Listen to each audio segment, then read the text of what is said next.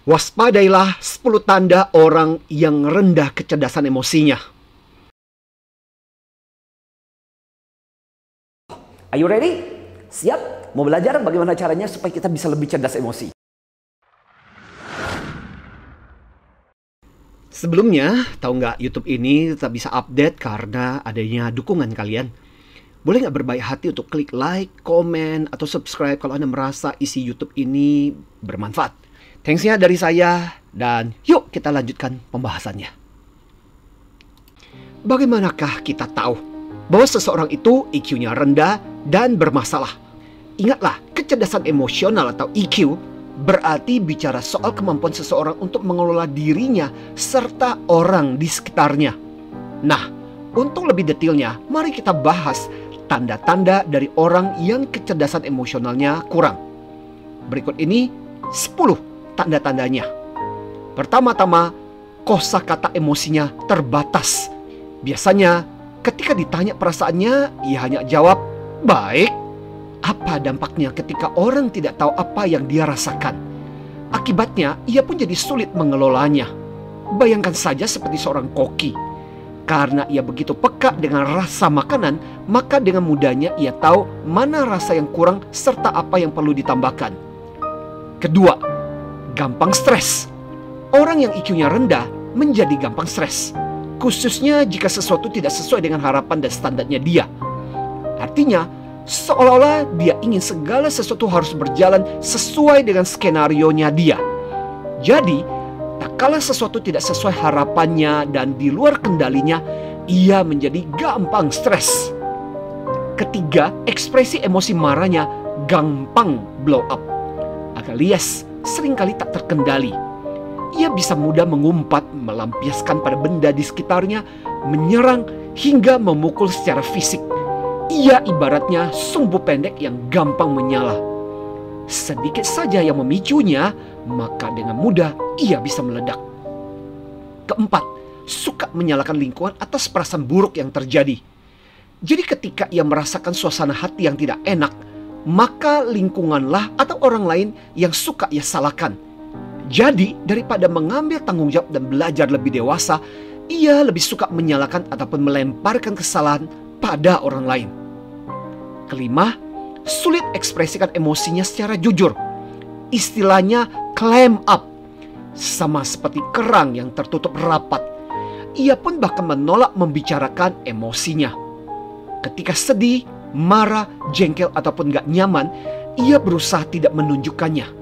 Bisa jadi ia adalah korban dari lingkungan yang melatihnya untuk tak biasa ekspresikan emosinya.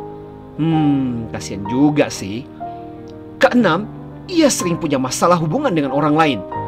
Pertemanan, persahabatan ataupun hubungannya selalu berakhir dengan masalah. Dan guess what?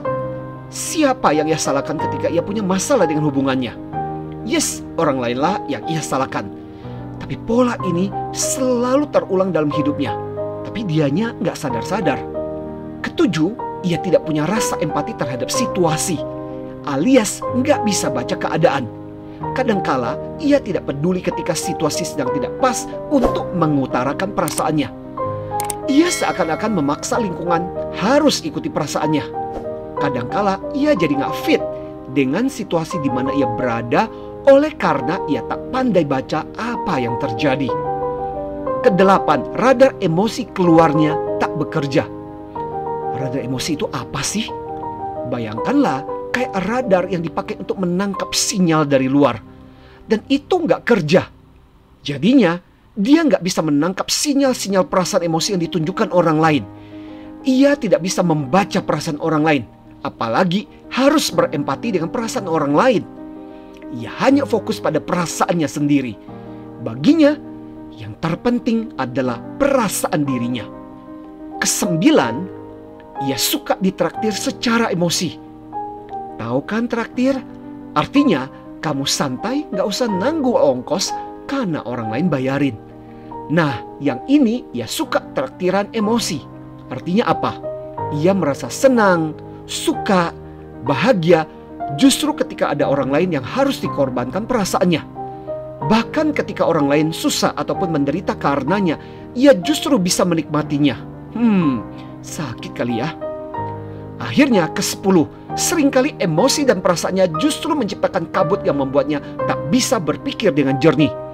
Misalkan ketika ia mulai nggak suka dengan seseorang, maka semua hal yang benar tentang orang itu langsung ditepis. Begitu juga kalau merasa chemistry-nya nggak cocok dengan seseorang, maka ia pun langsung tidak bisa menjaga profesionalisme kerjanya. Muatan perasaannya jadi jauh lebih besar daripada hal utama yang harusnya ia selesaikan dengan orang itu. So, ia sering kali tidak bisa berpikir jernih, bersikap dan bertindak gara-gara perasaannya. Nah, begitulah ke 10 tanda orang yang IQ-nya rendah. Apakah Anda termasuk di dalamnya? Hmm, jangan khawatir. Mungkin satu atau dua kadangkala kita alami, khususnya kalau kita dalam kondisi yang kurang bagus. Tetapi tidak akan terus-terusan begitu. Gini deh, kalau kita mencermati bahwa seseorang ataupun jangan-jangan diri kita sendiri memiliki lebih dari lima tanda-tanda tersebut, cobalah buat lebih waspada tanpa sadar Jangan-jangan selama ini kebiasaan dan sifat kita tersebut telah merampas karir, hubungan, serta kebahagiaan hidup kita. Tapi ada berita baiknya buat Anda. Selama kita masih bernafas dan hidup, selalu ada kesempatan buat kita untuk mengembangkan dan melatih kecerdasan emosional kita menjadi lebih baik. Demikianlah dari saya Anthony Dio Martin dari HR Excellency. Ingatlah, IQ membuat Anda diterima, tapi IQ lah yang membuat Anda dipromosikan. Salam antusias.